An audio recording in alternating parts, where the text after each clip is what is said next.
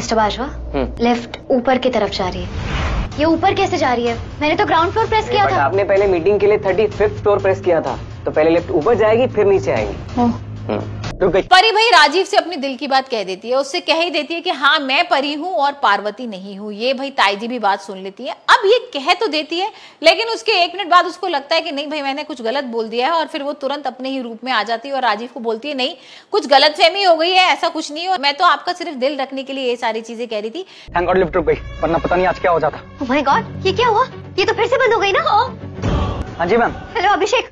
ये लिफ्ट फिर से क्यों बंद हुई है? मैम अच्छा हुआ ना लिफ्ट रुक गई। वरना प्रॉब्लम हो जाती। आउट ऑफ़ कंट्रोल हो गई थी मैम। और ऐसा होता तो कुछ भी हो सकता है। मैं तो भाई पार्वती हूँ परी नहीं हूँ और ये सुन के राजीव को और भी बुरा लगने लगता है।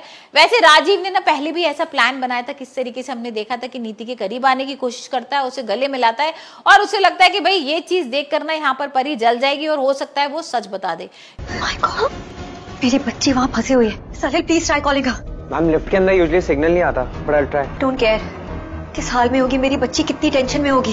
जस्ट जस्ट कीप कॉलिंग या मैम। यार राजीव ना ये पता करने के लिए उससे हाथ भी जोड़ लेता है उसके पैरों में गिर भी जाता है माफ़ी भी मांग लेता है कि भाई अगर मुझसे कोई गलती हुई है तो मुझे माफ़ कर दो लेकिन तुम मेरी ज़िंदगी से चली गई थी ना एक साल के लिए तो मैं बिल्कुल बर्बाद हो गया तो मैं सिर्फ़ तुम्हारे बारे में ही सोचता रहता था। मिस्टर बाजवा लिफ्ट रुक गई। हाँ मुझे दिखाई दे रहा है। हाँ दिखाई दे रहा है तो कुछ कीजिए लिफ्ट रुक गई कैसे रुक गई? कैसे रुक गई कैसे चल गई? मेरे हाथ में थोड़ा है। ठीक हो गई थी तो चल गई थी। रुक गई तो रुक गई। इसके हाथ में ये चीज़ें पूछ लेता हूँ।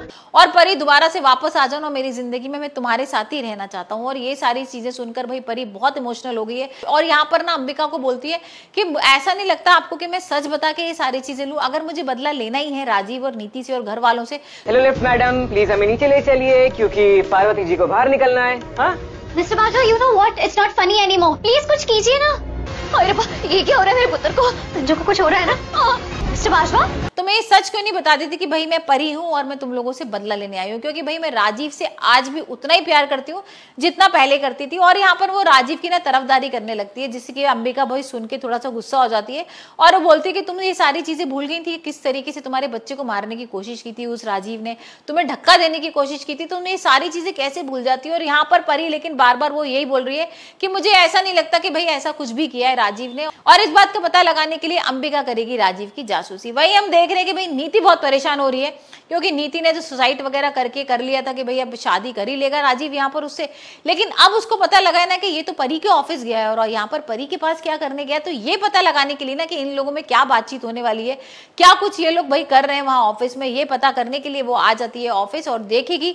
और लेकिन यहाँ पर तो कुछ और ही माजरा हो जाएगा। यहाँ राजीव और परी जो है ना, लिफ्ट के अंदर बंद हो जाएँगे। अब लिफ्ट के अंदर बंद होने के बाद क्या परी सच बता पाएगी, ये तो आने वाले एपिसोड में ही देखेंगे, क्योंकि उसने सोच लिया है कि अब मुझे सच बताना है राजीव को और उससे पूछना भी है कि राजीव, तुमने मेरी जान लेने की कोशिश क्यों की थी?